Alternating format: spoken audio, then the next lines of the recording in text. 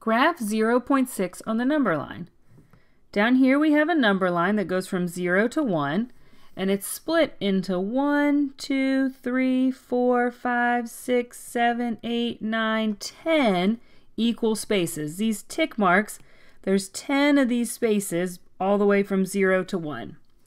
So between any two of these spaces, for example, between these first two tick marks, could be represented by one tenth. It's one, one of the 10 equal spaces. It's one tenth of the distance. Now the number we're supposed to graph is 0.6.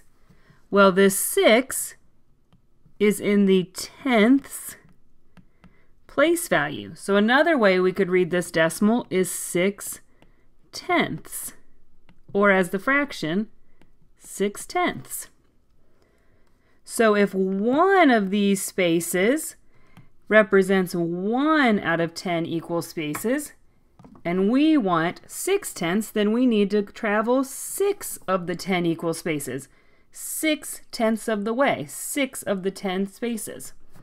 So we can start at the beginning and go 1, 2, 3, 4, 5, 6 and graph right here with a point, and this is 6 tenths.